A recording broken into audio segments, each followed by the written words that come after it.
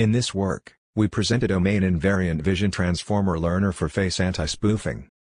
Face anti-spoofing models have been widely used in digital security systems to prevent impersonation by fake faces. Benefiting from the capability of deep neural networks, existing FAS models achieve high performance on a single baseline or domain. However, the query images are usually from unknown domains and real-world applications.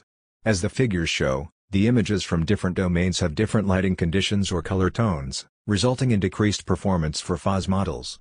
Hence, handling data from unknown domains is still challenging for face anti-spoofing.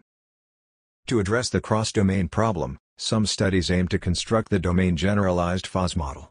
Currently, the leading domain generalized FAS methods centralize all the real faces of different domains in the latent space and unify the attack faces of different domains into different groups. In this work, we adopt a different strategy to construct a domain-invariant latent space. In this space, the real faces from different domains are centralized as well. The difference is that we unify the data of same attack type from different domains to a group instead of unifying the data of same domains.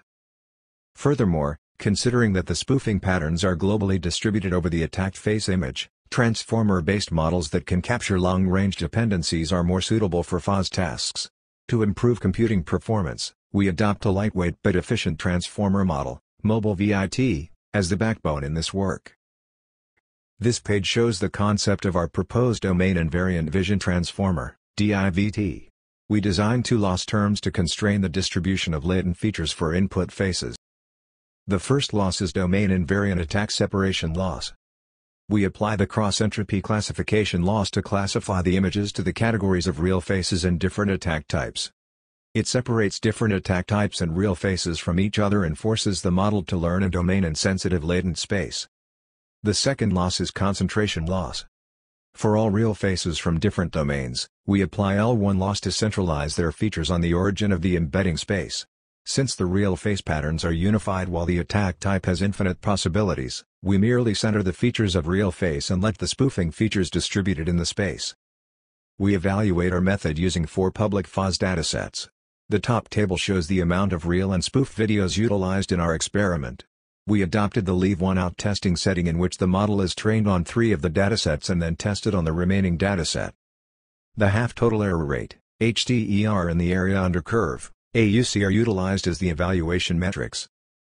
The bottom table shows the results of our approach and previous competitive methods. Compared to the previous state-of-the-art domain generation FAS methods, our proposed DiVT achieves better performance on almost all evaluation sets.